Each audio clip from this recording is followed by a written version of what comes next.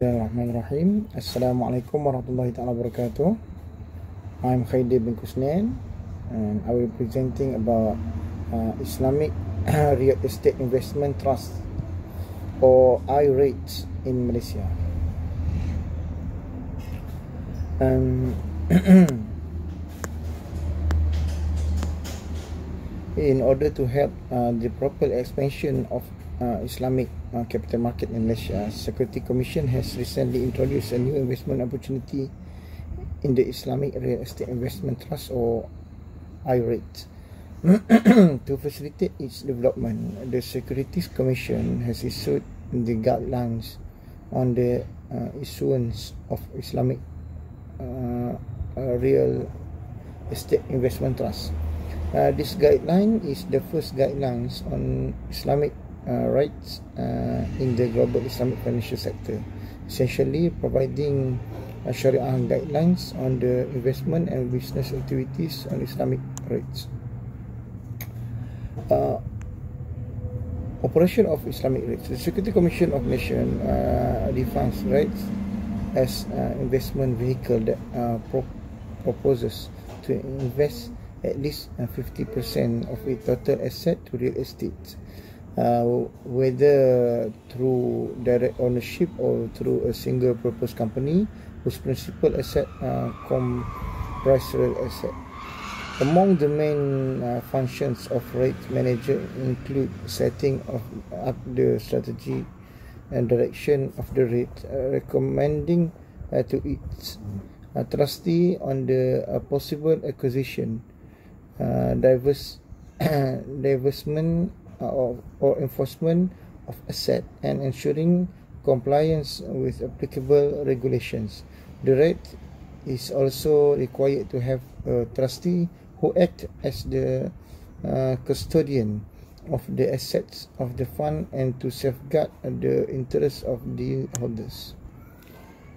Uh, summaries and illustrated uh, the rules and functions to various parties involved in the rate operation is equity rates, mortgage rates, hybrid rates. Equity rates uh, owns and operates income generating real estate which involves a wide range of activities including leasing, de development and real properties and tenant service. Uh, mortgage rates uh, primarily hold long-term mortgage but many also engage in short-term construction financing.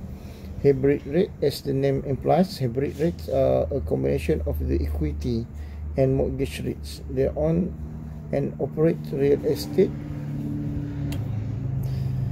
They own and operate real estate at the same time extend loans uh, to real estate owner and operators. Uh, the characteristic of the Islamic rates, uh, Malaysian Islamic capital market by attracting global Islamic investors who wish uh, to diversify their investment portfolio which are Sharia compliant. The section provide uh, an overview of Sharia rules and principles used in determining determining the Islamicity of rates as outlined in the guidelines for Islamic rates issued issued on 21st November 2005 by Security Commissions.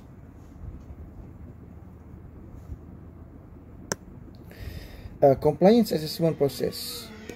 Compliance assessment uh, process is non-permissible uh, rental activities, uh, rental from tenant who operates mixed activities, method of calculating the ratio of rental of non-permissible activities, acquisition of real estate, renting out to new tenant uh, instrument used uh, in investment, deposit and financing for Islamic rates, takaful coverage, risk management issues.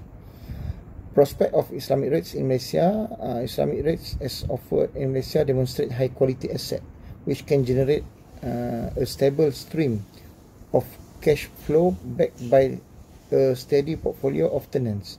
Moreover, according to rating agency of Malaysia, good quality assets are more likely to command sustainable uh, resale value uh, through economic cycles.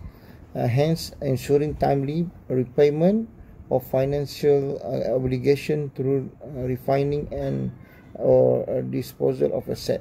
Assessment of asset quality according to RAM entails the type of asset involved as well as their location, accessibility, age and condition.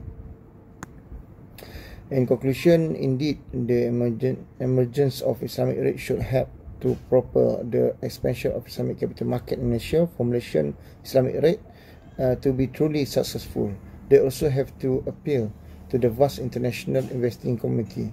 In, in this regard, the various tax uh, incentives and regulatory framework introduced by the Malaysian authorities are perceived as a move in the right direction towards uh, realizing, realizing the noble version of becoming the world's Islamic financial and capital hub. Uh, thank you, and that's all. Uh, Assalamualaikum warahmatullahi wabarakatuh.